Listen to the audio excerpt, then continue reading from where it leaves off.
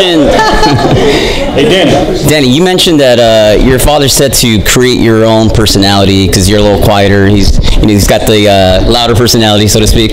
But since you've been at 147, you seem to joke around and you seem a little more alive. Is it because you were making having a hard time making weight at 140? Yeah, I just, I wasn't happy. I wasn't happy. That's just it. Like, who's happy after losing like 20 pounds? You know what I mean? It's like the week of the fight, you doing interviews. You, just the less thing you want, least thing you want to do is do interviews and talk and see other people drink water. It's like, it's like I don't want to be around that. From, from a marketing and- um, promotional standpoint, you're not as um, outspoken or X-rated as your father. How do you feel that um, him, like being more so the mouthpiece for you, how do you feel that that's helped your career?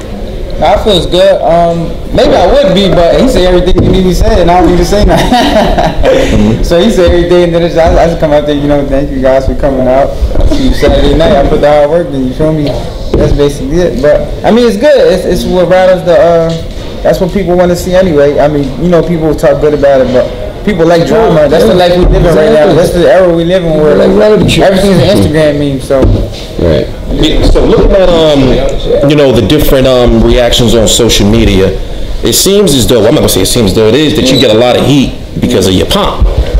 You know, so, like, I've, I've noticed that, um, people look at you as a good boxer. gold right on top.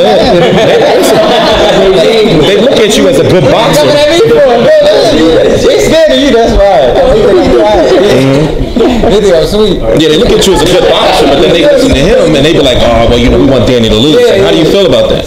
No, it is what it is, man. Um, a lot of people want me to win, believe it or not. A lot of people want me to lose. I think that's for every, every, everybody.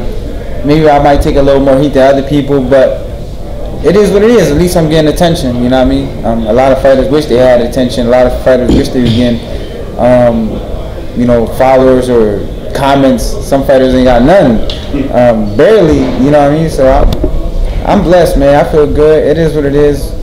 Pop's been talking shit for like six years already, so I'm used to it.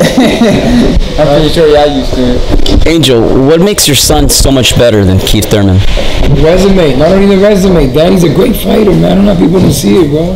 That's why I look at working it. in God's time, bro. What happens is when you work in God's time, everything for us was never, like I said earlier, we never picked and scrapped and every time they get into somebody. If you look at Danny's resume, I fought a guy. I always say this story, but it's hard to believe this story. People might look at me. I mean, that's one thing I will never do, lie to nobody. When we was in that two pound, uh, Oscar De La Hoya and two pound Stevie, Danny was fighting on the undercard in, in California on the Home Depot Center. Danny had a guy who was six and four, a Mexican kid. Danny was five and oh. They came to me an hour before the fight, Shelly. Because Shelly, we didn't start with Al Haymon. We started with Shelly. That's why I say Shelly, and no joke. Bro, you, stay, if you go through your career with Shelly, you better fight your ass off for peanuts. Okay? Elephant peanuts at this. Okay, so they came to us to, to an hour before the fight, said the guy you find, he's out. I said, okay, uh, Robert Diaz, ask Robert Diaz, he's the golden boy match. Or ever go, ever go, ask them, if you ever turn anybody down, anybody, first name. When Matisse said, jump in the bit, when Matisse said, they gave me five names. Who you fight, I said, who's the killer? He said, this kid is the guy, I said, bring the killer, that's what we want. See, that was, that was meant to be. But when you do like him, Thurman, calling people, that's not destiny. This destiny for us because we never call that's this this this is meant to be right now. See, he he wanted it, so he predicted it, so that's our destiny. See, I'm superstitious, I believe in God, so that's the difference between there and us. We took that fight out before in California, 28, 18 KO, 11 losses, Southpaw.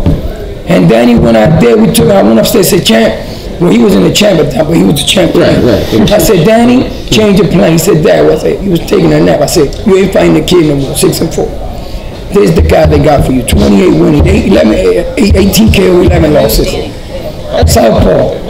He said, Dad, let's do it. Danny went out there and beat the shish kebabs out this guy. They know. How would you tell him, you can't beat a guy like this? But that's an opponent.